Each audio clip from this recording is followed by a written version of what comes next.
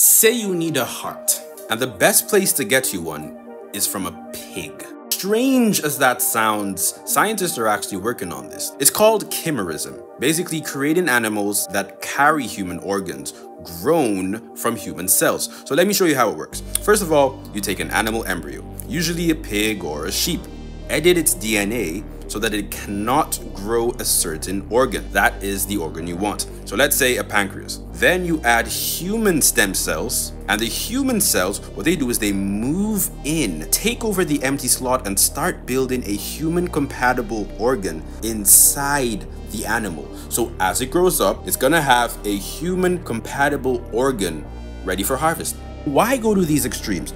Right now, people are dying every day waiting for organ transplants that never come. If we could grow hearts, kidneys, or livers tailored for each patient, we could virtually end the organ shortage. Now, nature, just like any other mother, doesn't take well to defiance. So what often happens during these experiments is that you start out with a human organ. But over time, the animal's natural DNA begins to take over. And then you have an organ that's mostly pig and partly human. And then there's the ethical debate.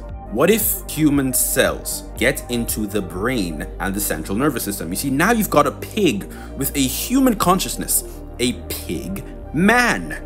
And since it's technically human, you can't just steal its organs. But it's basically got human rights. So now you've just ruined its life for no reason. But all that aside, I think it'll be very interesting to see how far this actually goes. But what do you think? How far are we really willing to go just to cheat death? Subscribe for more.